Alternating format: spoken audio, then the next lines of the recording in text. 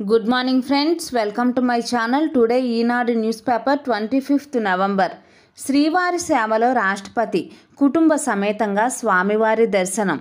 రాష్ట్రపతి రామ్నాథ్ కోవింద్ కుటుంబ సమేతంగా మంగళవారం తిరుమల శ్రీ వెంకటేశ్వర స్వామి వారిని దర్శించుకున్నారు. తిరుమల పర్యటనలో భాగంగా ఉదయం రేణుగుంట విమానాశ్రయానికి వచ్చిన రాష్ట్రపతి ఆయన సతీమణి సబిత కుమార్తె స్వాతిలకు గవర్నర్ బిశ్వభూషణ్ హరిచందన్ ముఖ్యమంత్రి వైఎస్ జగన్మోహన్ రెడ్డి స్వాగతం పలికారు. నివ్వర్ అతి తీవ్రం అంటున్నారు నేడు పుదుచ్చేరిలో తీరం దాటనున్న తుఫ్- తమిళనాడులో అతి భారీ వర్షాలు నూట ఇరవై నుంచి నూట న- నలభై ఐదు కిలోమీటర్ల వేగంతో గాలులు వేచనున్నాయి. ఆంధ్రప్రదేశ్ తెలంగాణ కర్ణాటకలపైన ప్రభావం పడనుంది అని అంటున్నారు. అందరికీ టీకా. దేశంలో ప్రతి ఒక్కరికి వ్యాక్సిన్ అందించడమే తమ ప్రాథమిక లక్ష్యమని ప్రధానమంత్రి నరేంద్ర మోదీ స్పష్టం చేశారు. వ్యాక్సిన్ ఎన్ని డోసులు ఇవ్వాలి దాని ధర ఎంత అన్నది ఇంకా ఖరారు కాలేదు అని చెప్పారు. ఈ అంశంపై కేంద్రం సంబంధిత అన్ని వ్యవస్థలతో నిరంతరం సంప్రదింపులు జరుపుతుంది అన్నారు. టీకా అందుబాటులోకి వచ్చిన వెంటనే దాని కింద కింది వరకు క్రమబద్ధంగా ఎలా తీసుకెళ్ళాలన్న అంశంపై రాష్ట్రాలు లిఖితపూర్వకంగా సూచనలు సలహాలు ఇవ్వాలి అని కోరారు. ఆస్తి పన్ను మోత అంటున్నారు. ఆంధ్రప్రదేశ్ రాష్ట్రంలో ఇకపై రిజిస్ట్రేషన్ విలువ ఆధారంగా వసూలు చేయనున్నారు ఆస్తి పన్నుని. వచ్చే ఏప్రిల్ నుంచి ఇది అమలు కానుంది. విలువ పెరిగిన ప్రతిసారి పెంచుతారు. ప్రజలపై మరింత భారం పడనుంది. ఆంధ్రప్రదేశ్ రాష్ట్రంలోని నగరపాలక పురపాలక సంఘాలు నగర పంచాయతీలలో ఆస్తి పన్ను భారీగా పెరగనుంది. పట్టణ స్థానిక సంస్థలలో నీటి సరఫరా మురుగునీటి పారుదల సదుపాయాలు యూజర్ పన్ను పెంచిన మర్నాడే ప్రభుత్వం ఆస్తి పన్ను భారం మోపుతూ నిర్ణయం వెలువరించింది అని అంటున్నారు. ఆంధ్రప్రదేశ్ రాష్ట్రంలో నేడు జగనన్న తోడు ప్రారంభం. చిరు వ్యాపారులు సంప్రదాయ వృత్తి వృత్తిదారులకు సున్నా వడ్డీ పథకం కింద రుణాలు అందించే జగనన్న తోడు పథకాన్ని సీఎం జగన్ బుధవారం తన క్యాంపు కార్యాలయం నుంచి ప్రారంభించనున్నారు. ఈ పథకం ద్వారా ఒక్కొక్కరికి పదివేల రూపాయల చొప్పున మొత్తం వెయ్యి కోట్ల రూపాయలను లబ్ధిదారుల ఖాతాలో జమ చేయనున్నారు. ఇప్పటికే రాష్ట్ర వ్యాప్తంగా పది లక్షల మంది దరఖాస్తు చేసుకున్నారు. అర్హులైన ప్రతి ఒక్కరికి పథకాన్ని వర్తింపచేసేందుకు గాను దరఖాస్తు ప్రక్రియ నిరంతరం కొనసాగించాలని ప్రభుత్వం నిర్ణయించింది. డిసెంబర్ ఇరవై ఐదు నుంచి గృహ నిర్మాణాలకు శంకుస్థాపనలు అంటున్నారు. ఇళ్ళ స్థలాల పంపిణీ అనంతరం డిసెంబర్ ఇరవై ఐదు నుంచి వారం రోజుల పాటు ఇళ్ళ నిర్మాణాలకు శంకుస్థాపన కార్యక్రమాన్ని చేపట్టాలని అధికారులను గృహ నిర్మాణ శాఖ ముఖ్య కార్యదర్శి అజయ్ జైన్ ఆదేశించారు. చేసిన వాటికే మళ్ళీ శంకుస్థాపనలా అంటున్న తెదాప పాలిట్ బ్యూ బ్యూరో సభ్యుడు కాలవ విమర్శ ఇది. అనంతపురం జిల్లాలలో తెదాప హయాంలో శంకుస్థాపనలు చేసిన వాటికే సోమవారం వైకాపా మంత్రులు ఎమ్మెల్యేలు మళ్ళీ శంకుస్థాపన చేసి ప్రజలను మోసం చేయడానికి ప్రయత్నించారని తెదాప పాలిట్ బ్యూరో సభ్యుడు కాలవ శ్రీనివాసరావు తెలిపారు.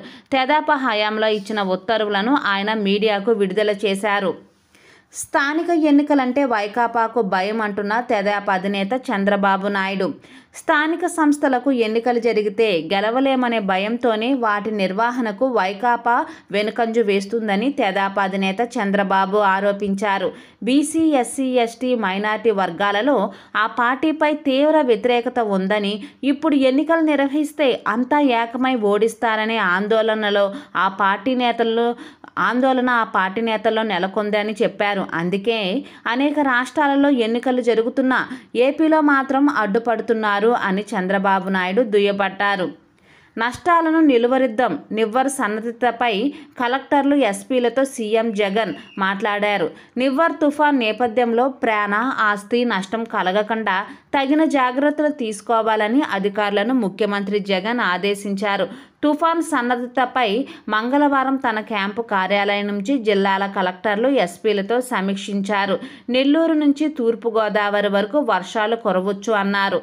కోత కోసిన పంటలను రక్షించుకునేలా కొయ్యకుండా ఉన్న పైర్లను కాపాడుకునేలా ఆర్బీకేల ద్వారా రైతులకు సూచనలు ఇవ్వాలి అని సూచించారు. భూ సేకరణ వ్యవహారాలపై మంగళవారం సుప్రీంకోర్టు కీలక తీర్పు వెలువరించింది.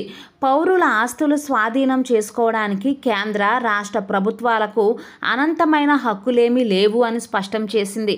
ఆస్తి హక్కు ప్రాథమిక హక్కు కానప్పటికీ పౌరుల నుంచి సేకరించిన భూమిపై కేంద్రానికి అపరిమితమైన హక్కు లేదని తెలిపింది. బెంగళూరులోని బయప్పన్ హలీలో బిఎం కృష్ణమూర్తి అనే వ్యక్తి నుంచి యాభై ఏడేళ్ళ క్రితం సేకరించిన భూమిని మూడు నెలల్లోగా వారసులకు తిరిగి ఇవ్వాలని కేంద్రాన్ని ఆదేశించింది. జరిమానాలు కోర్టు ఖర్చులు కూడా చెల్లించాలని justice Indira Banerjee justice S Ravindra భట్టలతో కూడిన ధర్మాసనం తీర్పు వెలువరించింది. ఏవో కారణాల కోసమని చెప్పి అన్ని నిబంధనలను కాదని ప్రజల భూమిని స్వాధీనం చేసుకునే అధికారాన్ని ప్రభుత్వాలకు కట్టబెడితే అది అరాచకం కిందకే వస్తుంది. పౌరుల స్వేచ్ఛకు పూచికత్తు ఇస్తూ కాపాడటమే కోర్టుల విధి. ప్రభుత్వాలు తీసుకునే చట్ట వ్యతిరేక చర్యలను క్షమిస్తే అది వాటి చేతికి ఆయుధం ఇచ్చినట్టు అవుతుంది అని ఆ కోర్టు పేర్కొంది. చేవాట్లు పెడుతున్న చీమ కుట్టినట్లు కూడా లేదు అంటున్నారు. న్యాయస్థానాలు ప్రతిరోజు చేవాట్లు పెడుతున్నా జగన్కు చీమ కుట్టినట్లు లేదు. వాటిపైన ఉన్మాదంగా వ్యవహరిస్తున్నారు. నేరస్తులంతా ఉన్నత పదవుల్ని అధిరోహిస్తూ ప్రజాస్వామ్యాన్ని ఇష్టారాజ్యంగా వినియోగించుకుంటున్నారన్న న్యాయస్థానం వ్యాఖ్యలు మన రాష్ట్రంలోని పరిస్థితులకు అద్దం పడుతున్నాయి. అధికారం చేపట్టగానే తెదాపా నేతలతో మొదలుపెట్టి ఇప్పుడు ఏకంగా ప్రజలపైనే దాడులకు దిగుతున్నారు. బీసీ ఎస్సీ ఎస్టీ మైనార్టీలను తీవ్రంగా వేధిస్తున్నారు. కోర్టులు జడ్జిలు ఎన్నికల సంఘం రాజ్యాంగ సంస్థలు ప్రజాస్వామ్య వ్యవస్థలపై దాడులకు పాల్పడుతున్నారు అని చంద్రబాబు నాయుడు ధ్వజమెత్తారు. వ్యవసాయ పరిశోధన కేంద్రం భూ కేటాయింపుపై పిల్. కర్నూలు జిల్లా నంద్యాలలోని ప్రాంతీయ వ్యవసాయ పరిశోధన కేంద్రానికి చెందిన భూమిలో వైద్య కళాశాల ఏర్పాటుకు యాభై ఎకరాల కేటాయింపును సవాలు చేస్తూ దాఖలైన ప్రజాహిత వ్యాజ్యంపై మంగళవారం హైకోర్టు విచారణ జరిపింది. లోకేష్ వాహన శ్రేణిలో తనిఖీలు. తెలుగుదేశం పార్టీ జాతీయ ప్రధాన కార్యదర్శి నారా లోకేష్ వాహన శ్రేణిని మంగళవారం తెలంగాణ పోలీసులు తనిఖీ చేశారు. జీహెచ్ఎంసీ ఎన్నికలు జరుగుతున్న నేపథ్యంలో సోదాలు నిర్వహించారు. హైదరాబాద్ జూబ్లీ హిల్స్లోని నివాసం నుంచి లోకేష్ విజయవాడ వెళ్ళేందుకు బయలుదేరగా జూబ్లీ హిల్స్ ఇన్స్పెక్టర్ సత్తయ్య నేతృత్వంలో పోలీసులు టాస్క్ ఫోర్స్ సిబ్బంది ఆయన నివాసానికి సమీపంలో క్యాన్వాయ్ను ఆపి సోదాలు నిర్వహించారు. ఎన్నికల నియమావళి ప్రకారమే తనిఖీలు చే చేపట్టినట్లు లోకేష్ భద్రతా సిబ్బందికి పోలీసులు తెలిపారు. ఏపీకి ఒక రాజధాని అని అంటున్నారు. ఆంధ్రప్రదేశ్కు ఒకే రాజధాని ఏర్పాటు గురించి ఏపీ విభజన చట్టంలో స్పష్టంగా ఉందని సుప్రీంకోర్టు సీనియర్ న్యాయవాది నితీష్ గుప్తా పేర్కొన్నారు. బహుళ రాజధానుల ప్రస్తావన ఆ చట్టంలో లేదని శాసనకర్తల ఉద్దేశం ఒక రాజధానినేనని స్పష్టం చేశారు. రాజధాని వ్యాజ్యాలపై రైతుల తరపున మంగళవారం హైకోర్టులో ఆయన వాదనలు వినిపించారు. తిరుపతి నుంచి పోటీకి దిగేదెవరో త్వరలో నిర్ణయిస్తామంటున్న భాజపా రాష్ట్ర అధ్యక్షుడు సోము వీర్రాజు. తిరుపతి లోక్సభ స్థా స్థానానికి జరిగే ఉప ఎన్నికలలో పోటీ చేసే అభ్యర్థి జనసేన నుంచా భాజపా నుంచా అన్నది త్వరలోనే తేలుస్తామని భాజపా రాష్ట్ర అధ్యక్షుడు సోము వీర్రాజు స్పష్టం చేశారు. తిరుపతిలో మంగళవారం ఆయన విలేకరులతో మాట్లాడారు. రెండు పార్టీలు కలిసి తిరుపతి నుంచే జైత్రయాత్రను ప్రారంభిస్తాయి అని చెప్పారు. అధికార యంత్రాంగాన్ని అడ్డుపెట్టుకొని వైకాపా ప్రభుత్వం ప్రభుత్వం ఇతర పార్టీలపై వేధింపులకు పాల్పడుతుందని ఈ చర్యలను భాజపా సహించదు అని హెచ్చరించారు.